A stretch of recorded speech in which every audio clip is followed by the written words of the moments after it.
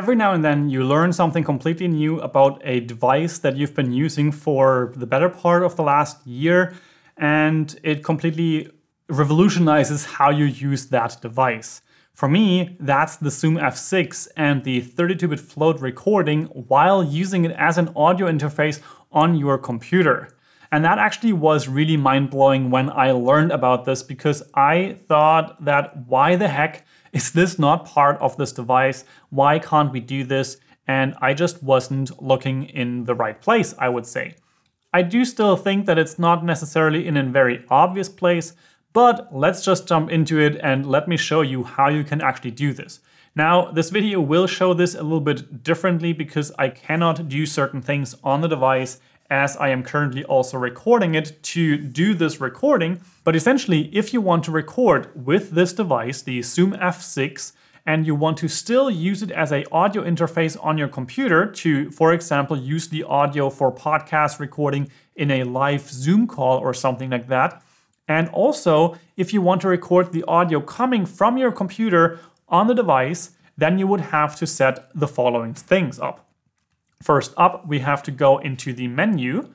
Then we want to go into the rec setting. And then you might be able to see right here at the top where it says mode, it currently is set to dual 24 and 32-bit float recording. And this is actually crucial. I usually just set my device to float 32-bit and that was my default the whole time. And the problem, however, is that when you then want to switch into the audio interface with recording mode, it actually complains that this is not possible because you're currently in 32-bit float mode.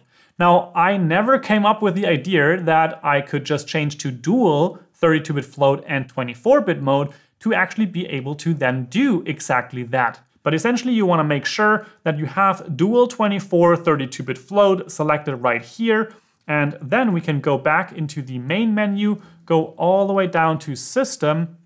And once you're there with USB in here is where you would then activate the mode for audio interface and recording mode. Now, if you have the Zoom F6, I trust that you know how to do that part.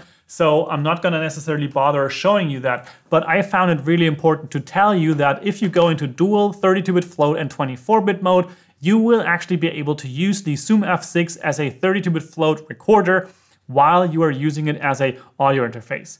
Now there are a couple of caveats, of course. For example, if you are recording a Skype session where you get audio from another person to your Zoom F6, by, for example, using something like Loopback for audio routing. And I have a video about that, or I will be having a video about that at some point in the future where you can see how you can set those things up. But essentially, if you want to have the audio from your guest, for example, recording to the Zoom F6, you will of course not get a full 32-bit float recording because the audio is coming in in 24-bit and it is already compressed, probably even more than that and you are going to just be able to record that. However, what I think is definitely something that is really useful here is that you don't have to worry about the gain setting on the device while you are recording. So you're not clipping it in here. You are just recording exactly what you are receiving.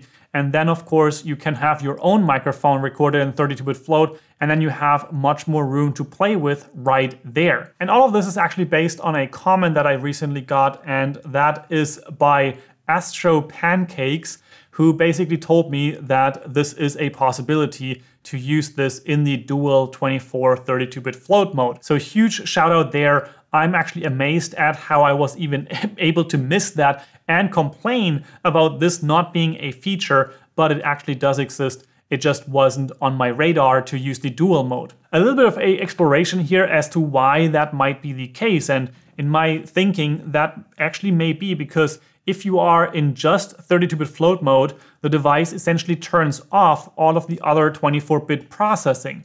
Now, why the line out doesn't have the same issue, I don't know. But essentially what my expectation is with the dual 32-bit 24-bit mode, essentially the device provides a 24-bit and a 32-bit float lane once the audio comes in. So it basically gets split. One gets just recorded right after that, and the other one is sent to the file recording, but also is sent to the computer. So one of the limitations of all of this is that the Zoom F6 cannot send a 32-bit float signal to your computer, but then again, you don't necessarily need that anyways, especially if you want to do something like, for example, Skype call recordings and stuff like that. Of course, if you want to have a fully rigged out drum set or something like that, and you want to record that in 32-bit float onto your computer, the Zoom F6 is probably not going to be the device for you because it can only record that internally and not onto your computer. So you are able to record 24-bit with multiple channels in your computer, even with the stereo and the separated tracks and all of that with this audio interface mode with recording. And I am really glad that I found all of this out now and be able to share all of this. Now, if you find this video interesting or helpful, then I would appreciate a thumbs up. If you have any questions around this or even more features that I have been missing about the Zoom F6, please let me know in the comment section down below or in my Discord server, which will also be linked in the description. And if you want to get yourself a Zoom F6 or any of the other gear that I use on a daily basis, you will find links to those things in the description below as well, which are affiliate links, making it possible for me to make more videos like this possible and sharing my findings, knowledge, and all of that. So with all that said, I hope you have an amazing day. Record your Skype conversations in 32-bit float with the audio interface mode and recording on the Zoom F6 and I'll see you in the next video. Ciao, ciao.